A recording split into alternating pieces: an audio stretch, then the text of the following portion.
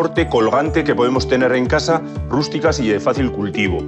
Para el exterior, en un balcón donde no del sol y protegido de la helada, sin duda, el sedum burrito. Fijaros qué manto de hojas puede llegar a desarrollar. Esto no lo toco porque si lo meneásemos empezaría a perder todas las hojas. Ahí se queda. Regarlo de vez en cuando y súper rústico. Yo, por ejemplo, en Barcelona, en la parte vieja de Barcelona, en los balcones donde no da nunca el sol, los he visto de una envergadura casi de un metro. Impresionante.